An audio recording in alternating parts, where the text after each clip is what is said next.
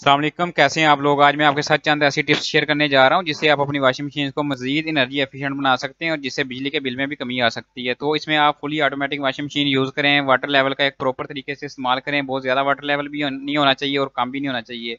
इसके अलावा आप कोल्ड वाटर हमेशा यूज़ करें। हॉट वाटर जो होता है वो नब्बे परसेंट ज़्यादा इनर्जी कंजप्शन करता है और कोल्ड वाटर आपके कपड़ों के लिए अच्छा है हॉट वाटर अच्छा नहीं है। यूज़ इको मोड अगर आपकी वॉशिंग मशीन में है तो यूज़ करें, ठीक है? इसके अलावा यूज़ है हाई स्पिन स्पीड अगर ये आप मोड ऑन करते हैं तो इससे ये होता है कि आपके कपड़ों से जल्दी पानी निकल जाता है और धुलाई भी जल्दी हो जाती है, जिससे आपकी एनर्जी सेविंग हो जाती है।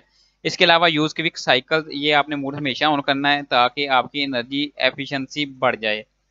और इसके अलावा आप इसमें किसी भी कंपनी की वॉशिंग मशीन यूज़ करें जो एनर्जी एफिशिएंट हो एनर्जी रेटिंग जिसकी अच्छी हो। एयर ड्राइंग आपने हमेशा करनी है, ठीक है, खुली हवादार जगह पे आपने एक अपने कपड़े डालने ताकि आपकी एनर्जी कंजम्पशन कम हो जाए। इसके अलावा आप अपने कपड़ों को बार बार ना धोएँ जिनको धोने की ज़रूरत नहीं है, जैसे कि जीन्स होगी जैकेट्स वगैरह। मजीद मालूम के लिए मुझे कॉल और मैसेज कर लें, अगर आपकी मशीन में कोई ख़राबी है तो हमारी टीम आपकी मदद के लिए तैयार है। अल्लाह हाफिज़।